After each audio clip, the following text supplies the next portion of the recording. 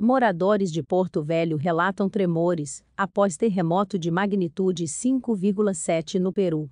Tremor tem relação com o terremoto de magnitude 5,7 que atingiu o oeste do Peru. Até o momento, não houve registro de acidentes ou pessoas feridas. Assisto agora, em Últimas Notícias. Moradores de prédios da zona norte de Porto Velho relataram terem sentido um leve tremor na noite de sábado, 9, por volta das 20 horas e 30 minutos, horário de Rondônia.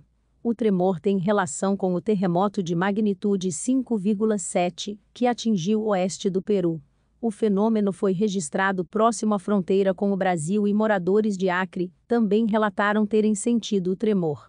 Segundo um dos moradores, os residentes do prédio evacuaram o local por medo de danos na estrutura. Ao G1, uma moradora disse que os móveis chegaram a bater na parede. Durou um minuto mais ou menos. Os móveis bateram nas paredes e o prédio balançou muito, disse. Segundo a Polícia Militar, PM, vários pedidos de socorro e relatos referente ao tremor de terra foram relatados aos 190, mas, até o momento, não houve registro de acidentes ou pessoas feridas. Se inscreva para acompanhar a cobertura desta e de muitas outras notícias. Veja também essas outras notícias que podem ser do seu interesse.